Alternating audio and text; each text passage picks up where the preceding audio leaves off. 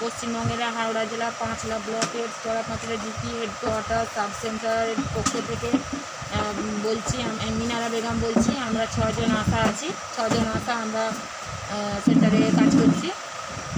তো আমরা উনিশ কুড়ি কোভিড যে, কোভিড যে- কাজ চলছে, আমরা কোভিড যোদ্ধা হিসাবে সমানভাবে সরকারের রুল অনুযায়ী, সরকারের অর্ডার অনুযায়ী যখন যে অর্ডার হয়, আমরা সেই অর্ডার অনুযায়ী ফিল্ডে কাজ করছি।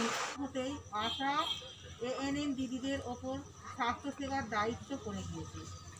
বাড়ি বাড়ি সার্ভে করা, করোনা সংক্রমণ থেকে বাঁচার জন্য জনসাধারণকে সূচনা দেওয়া, করোনা রোগীদের হসপিটালে পৌঁছানো, লোকেদের টেম্পারেচার টেস্ট করা এবং সংক্রমিত ব্যক্তিকে চিহ্নিত করে মেডিসিন দেওয়া।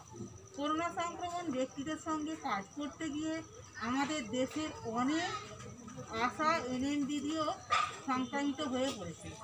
আসুন আমরা শুনে নেব পশ্চিমবঙ্গ, হাওড়া জেলা পাঁচড়া ব্লকের চড়া চড়াপাঁচলা জিপি হেডকোয়ার্টার সাব সেন্টারে সাব সেন্টারের আশা দিদিদের কথা। আমরা সরকারের পক্ষ থেকে সেরকম কিছু মানে আহ, এইসব কি পেয়েছে? সেরকম আমরা কিছুই না। না সেরকম বলার মতো সেরকম আমরা কিছুই পাই না। দুটো মাস্ক ছাড়া।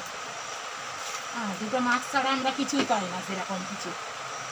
আর তোমরা যে কাজ করছ বাড়ি বাড়ি গিয়ে এত এই ভয়ঙ্কর পরিস্থিতির মধ্যে সবাই যখন বাড়ির ভিতর তোমরা তখন বাড়ির বাইরে। আশা দিদিদের একমাত্র করোনা যুদ্ধ হিসাবেই কাজ করছে। তা তোমাদের প্রোটেকশন তোমরা কীভাবে নিচ্ছ? আমরা যখন মানুষের পাশে যাই, মানুষ আমাদেরকে অনেকে বলে আমাদের বাহবা দেয় হ্যাঁ দেখুন, আমরা ঘরের বদ্ধ ঘরের মধ্যে সব নিজেরা নিজের সেফটি নিয়ে বসে আছি। আশা দিদিরা আজকে ডোর টু ডোর আমাদের পরিষেবা দিচ্ছে, কেউ আবার আমাদের ঘৃণা করে।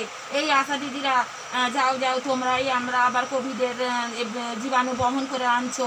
আমাদের তখন খুবই কষ্ট হয়, কিন্তু কিছু করার নেই। আমরা কাজ করাবার জন্যই আমরা নেমেছি, মানুষকে ভালোবাসি, আমরা সেই জন্য তো আমরা থেমে থাকতে পারি না।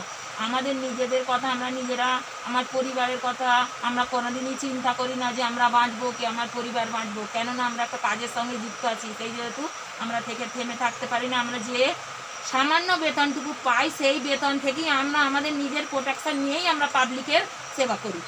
নিজেদের জীবন তোয়াক্কা না করে নিজেদের জীবনকে ঝুঁকিতে ফেলে সংক্রমণের সঙ্গে লড়াই করে সাহসিকতার সঙ্গে কাজ করে চলেছেন। তাই মুখ্যমন্ত্রী মাননীয় মমতা ব্যানার্জি ফ্রন্ট লাইন কর্মীদের কাজে খুশি হয়ে অভিনন্দন জানিয়েছেন।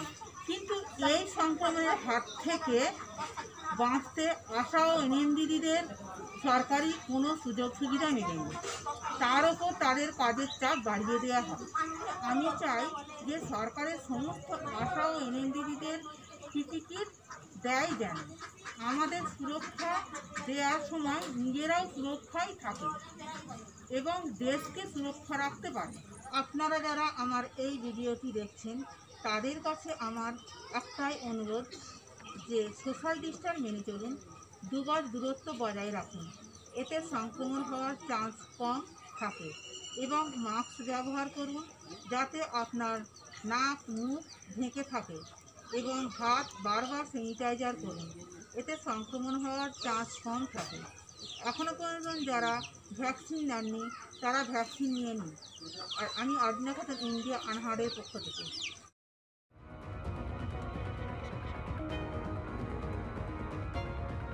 आप भी बन सकते हैं बदलाव का हिस्सा। हमारे चैनल को सब्सक्राइब करें, वीडियो को लाइक करें और शेयर करें और अपने विचार कमेंट बॉक्स में हमें बताएँ।